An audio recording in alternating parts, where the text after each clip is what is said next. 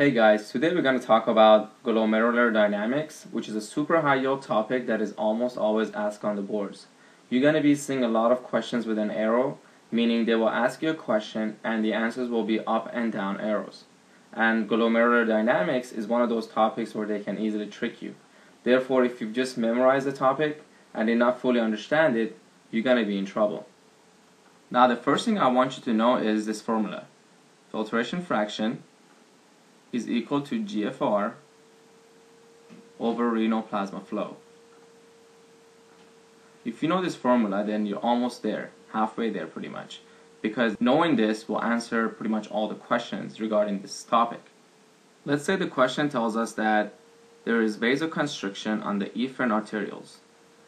This is our afferent arterioles, this is our efferent arterioles, and the question saying there is vasoconstriction here on the efferent arterioles. And they're asking us what's going to happen to filtration fraction, to our GFR, and renal plasma flow. Now I can already answer these questions in 5 seconds and this is how we do it.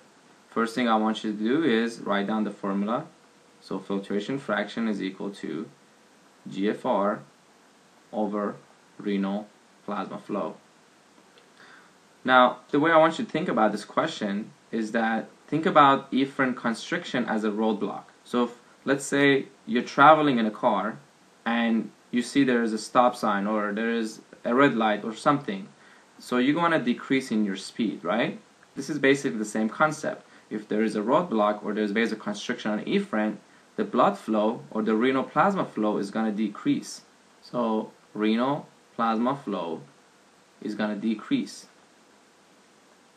And based on this, now we can answer the rest of the question because we know that renal plasma flow and filtration fraction are opposite of each other based on this formula obviously. So we can say that if renal plasma flows decrease, our filtration fraction will increase. And based on this formula again, we know that filtration fraction and GFR must be the same. So if filtration fractions increase, GFR is also increased. So this is pretty much how you would answer this question.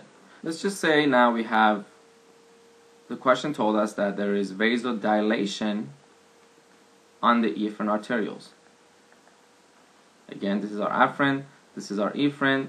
We need to know what's going to happen to filtration fraction, GFR, and renal plasma flow. Again, what we want to do is write down the formula filtration fraction is equal to GFR over renal plasma flow.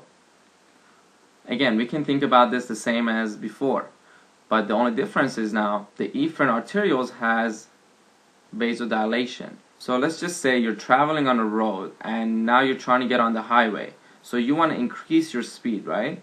This is pretty much the same concept you're traveling in a normal speed and then your speed's going to increase because you're getting into the highway. So what's going to happen to renal plasma flow? It will increase, right? Renal plasma flow will increase. Now, filtration fraction we said was opposite of renal plasma flow. So this will decrease. Therefore, our GFR, which is the exact same as filtration fraction, will also decrease.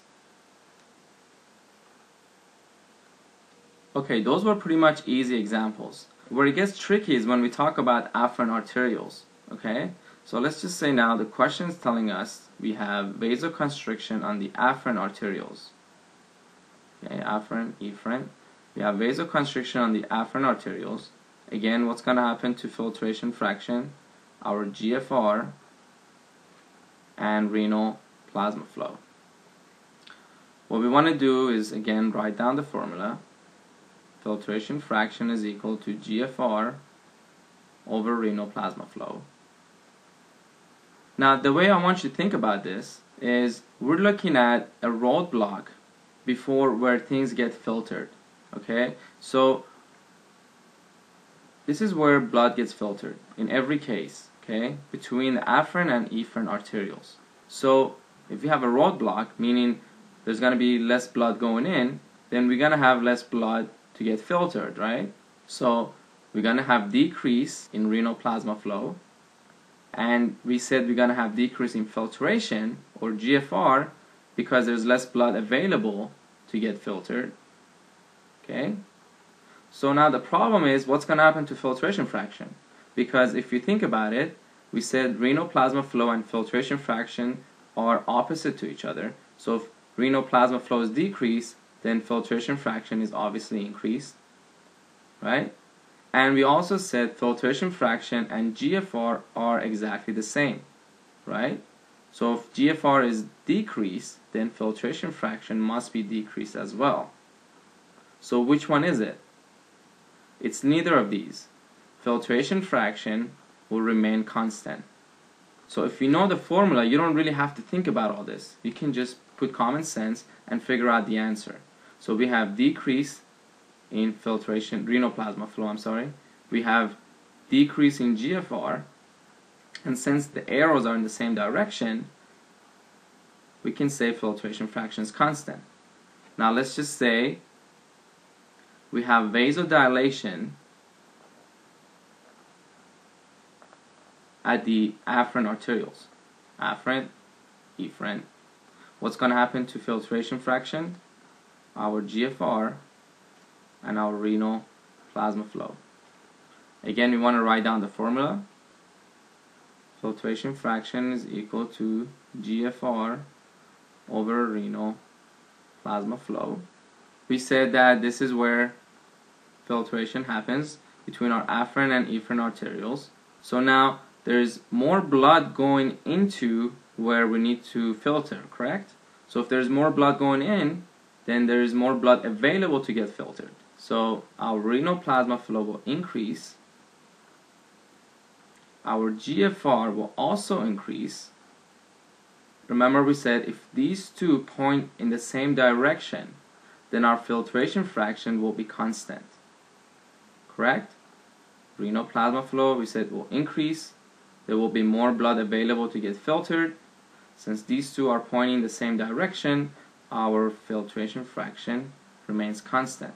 So remember, if we're talking about afferent arterioles, either way, if we dilate or constrict the afferent arterioles, our filtration fraction will always remain constant.